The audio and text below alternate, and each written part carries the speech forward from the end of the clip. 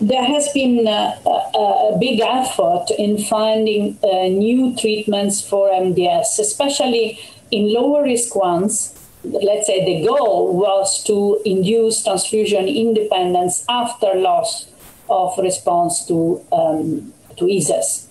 This is a big group of patients. They have a long survival, but still their quality of life is impaired by frequent transfusions. And there are a couple of drugs that are quite interesting. First of all, luspatercept has been uh, very recently approved by FDA and EMA. Luspatercept is a, a TGF beta pathway inhibitor. It's a ligand trap that is blocking activin binding to receptors. And um, it uh, allows the final maturation of erythroid precursors.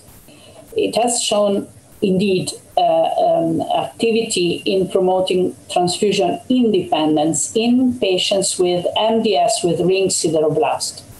As many as 47.7% of patients did achieve uh, transfusion independence for a period longer than eight weeks. This drug is sub-Q drug.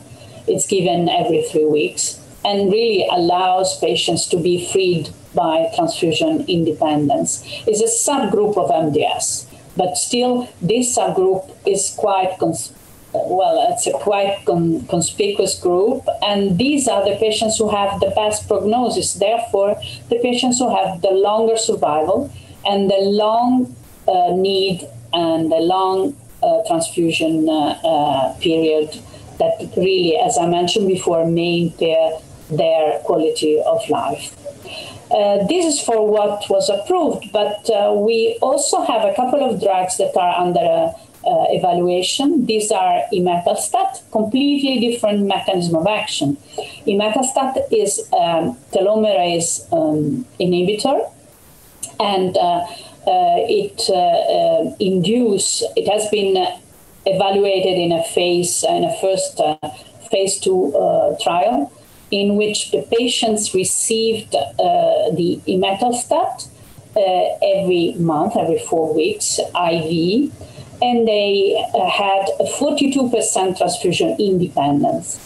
What is quite interesting about this drug is that the transfusion independence is kept for a long time. Median duration is uh, around 80 weeks and uh, there are patients who have achieved, one third of the patients who achieved uh, transfusion independence, independence maintained it for as much as one year or more, some of them for more than two years and a half. So I think it's a really uh, an interesting new drug. And uh, now there is a phase three randomized trial ongoing to confirm the consistency of these results. Another important thing about this drug is that it seems to have a, a disease modifying activity because um, the patients treated who had um, uh, who carried uh, SF3B1 mutation uh, experience a decrease in the variant allele frequency of this mutation upon treatment with imetelstat. And this is indeed a very important uh, observation. There is another uh, interesting drug it's an oral drug. It's roxadustat. Again, a complete different uh, approach and mechanism of action.